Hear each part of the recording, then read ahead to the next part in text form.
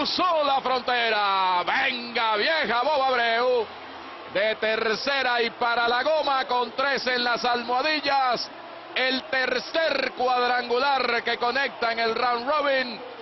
Cuatro impulsadas más para llegar a ocho.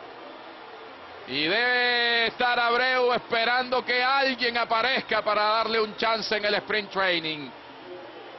¿Qué clase de batazo está al 100% el comedulce Abreu? No le dejó ese picheo allí en la esquina de afuera. Picheo quebrado que no rompió. Y ven allí donde cayó ese lanzamiento con tres en base. Abreu venía de poncharse de dos veces y esperó ese picheo. Y con qué calidad dio este batazo.